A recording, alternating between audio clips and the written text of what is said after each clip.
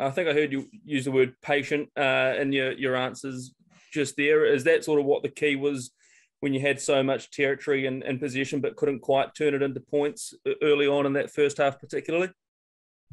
Absolutely. You know, it's um, you know, I think if you if you do your research and you look at how many tries they concede in Test matches, it's not many.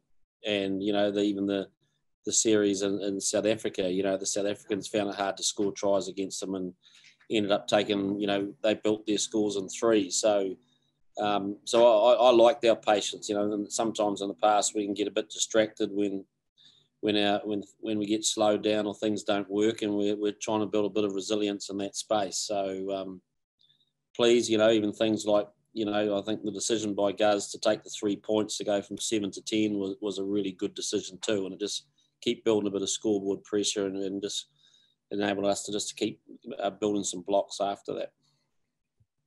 39 nil. What were you more pleased with the 39 aspect or the nil aspect? Yeah, I, I probably the nil. I think.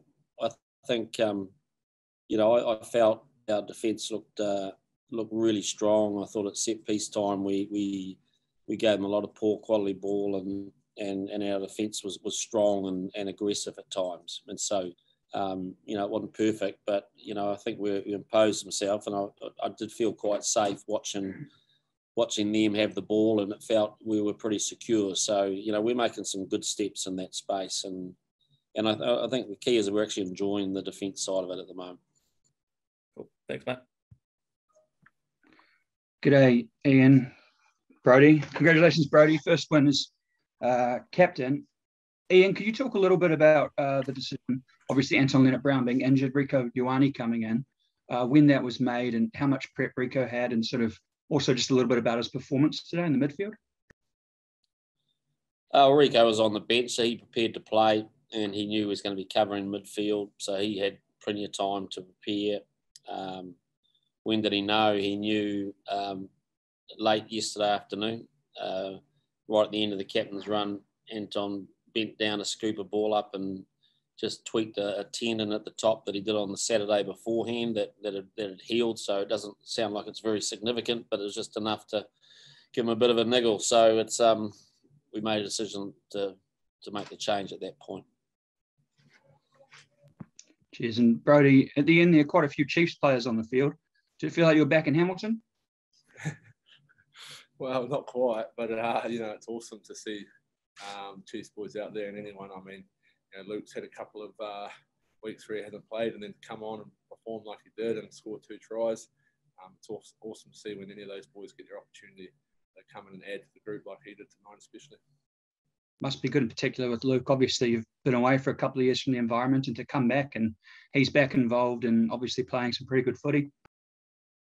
Yeah, absolutely. I think you know been around them for a wee while, like touched on at the Chiefs. And you know, when you come to the 2019 World Cup, everyone knew how see what his potential and how special of a player he is. And you know, he, he didn't participate, had to head, head home there, and he's worked his way back in here. And I think he's taken his opportunities um, hugely, and, and look forward to him doing it well. Thanks, guys. Cool. Should we go to Lynn McConnell next? Hi there, thanks. Uh, well done, guys. Uh, Brodie, one for you. Um, Ian's mentioned the fact that the patience was the important thing in the first half. How much did, how often did you have to keep reinforcing that during the first half? Yeah, we talked about it a lot. We talked about, you know, if we we just got to keep carrying and cleaning and um, not letting them get over the ball, and our opportunities will come.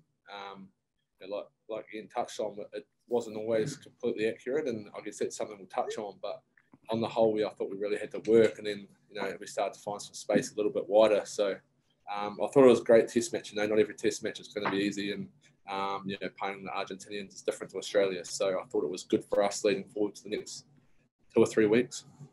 Cool, thanks, Lynn. Sorry, um, we're just going to have to keep it moving. Um, if we can just do one question each and just get around everyone, and we'll see how much time because we're under a bit of time pressure. So, Mark, do you want to go next? Yeah, um, Ian, uh, I just wonder, um, d- does it feel to you like Beauden's um, performances are building uh, on the back of what you saw tonight? And can you just also talk about um, his calf? Is he okay? He was icing it at the end. Yep, he's okay. tightened up, uh, a bit a bit more cramp. Um, same as last week. Uh, is he building? Yes, he is. He, he's playing well. So I'm really pleased with him. Cool. Thanks, Mark. Elliot, do you want to jump in? Sure. Um, thanks, Joe. Hi, Ian. Um, since that uh, loss last year, you haven't uh, conceded a point against Argentina. How much of a focus have you put on the defence, and does that defeat still play on the mind when you go into these this um, you know sort of games against Argentina? No, no, it doesn't. Look, you can't you can't linger on the past, just like you can't linger on the we didn't linger on the 38 0 in the last game we played them. It's all about the here and now. And, um, you know, we know history facts will get chucked up at us all the time. But, um, you know, this group's about um, paving its own path through this tournament. Um, we've, we've got some pretty clear objectives we want to get out of it. And, and you know, we've, we've done a lot of work on the Argentinians and what they've been delivering this year. Uh, and, largely they've been pretty impressive, particularly defensively. And so, um, you know, overall, I'm, I'm, pretty pleased with the way that, that we went about it. Um, I like the way our defence is building, and we're getting a good attitude there, like I said, and and that bodes well for what is still a, a long year in front of us. Yep, Jamie, do you want to jump in?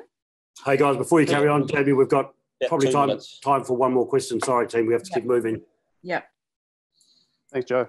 Um, yeah, sorry, just a question about the um, change in goal kicking uh, there. Uh, Ian, was that uh, your call, or is that a call that was made on the field by the um, by the captaincy group? No, no, that that's uh, Bodie's call. He's um, look, he, he like I said, he, he started to cramp up in that calf near the end of the first half, and it and so we asked. I, I, I had a conversation with Pete and indirectly to Bodie and said, "Well, just take, just leave the kicking, mate." So he, that's why I did that. Thank you.